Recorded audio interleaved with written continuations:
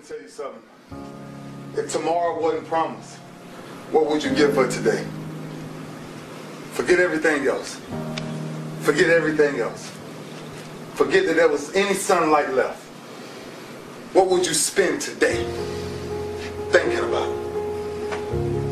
Yourself or the man that's beside you? Or the man that you know you'll give everything in your heart for? We get one opportunity in life. One chance in life to do whatever you're going to do.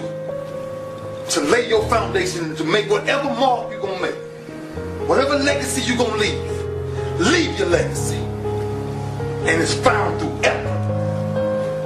Wins and losses come a dime a dozen. But effort, nobody can judge effort. Because effort is between you and you. Effort ain't got nothing to do with nobody else. So that team that think they ready to see you, they think what they seen on film, they ain't saw what film shows. Because every day is a new day. Every moment is a new moment. So now you got to go out and show them that I'm a different creature now than I was five minutes ago. Because I'm pissed off for greatness. Because if you ain't pissed off for greatness, that means you okay with being mediocre. Okay with being just basic. So let's do what we do. Tonight, Sir. we ain't got to worry about taking no breaks. Don't worry about taking no breaks. I've always been told that I'm too small. I'm not big enough. I'm not fast enough. I don't have what it takes.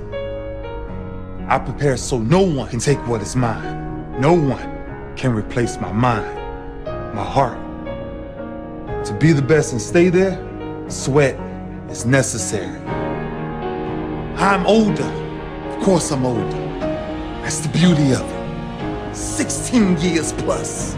Different level of wisdom, different level of understanding, different level of punishment. I want to live long after my records have fallen, long after my rings have tarnished. And whatever you got to do to make sure you chase your legacy every second of your life. Will you be remembered? How would you be remembered? Why wouldn't you fight for the greatest achievement ever? Leave your mark to endure